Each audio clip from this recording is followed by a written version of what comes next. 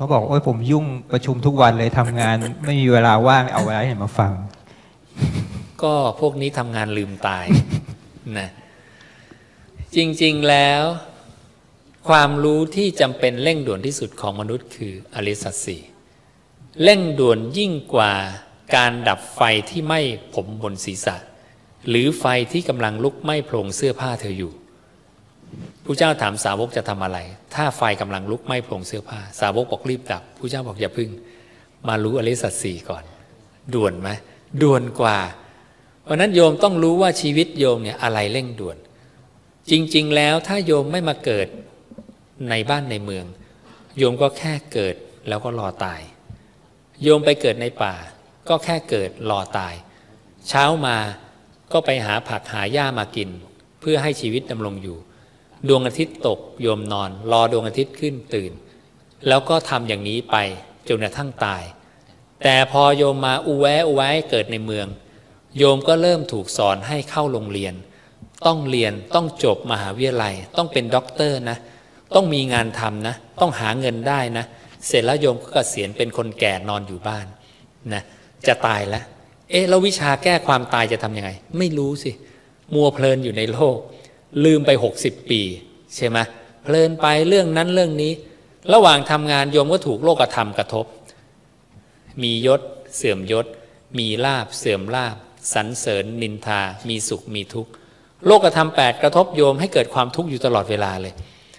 นะกว่าจะหมดทุกข์ได้ก็เกษียณอะหมดเรื่องทำงานมาเจอเรื่องครอบครัวอีกใช่ไหมลูกหลานมันอย่างนั้นอย่างนี้โยมก็ยังมีทุกข์ไม่หยุด ยังไม่มีวิชาแก้ทุกข์เลย เนี่ยทำงานลืมตายพระเจ้าจึงบอกความตายนี่ไม่ไม่รับประกันให้กับใครนะพรุ่งนี้อาจตายก็ได้ เย็นนี้อาจตายก็ได้ ไม่มีความแน่นอน คนที่มาใส่บาตรที่วัดอาตมาใส่บาตรเสร็จเดินข้ามถนนไป นั่งพักที่ร้านค้า เส้นโลหิตในสมองแตกตายนะ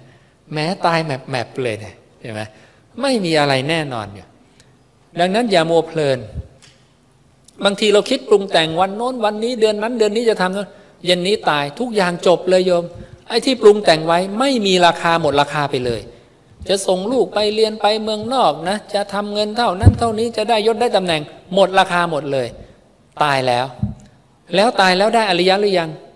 ยังนี่ไงปัญหา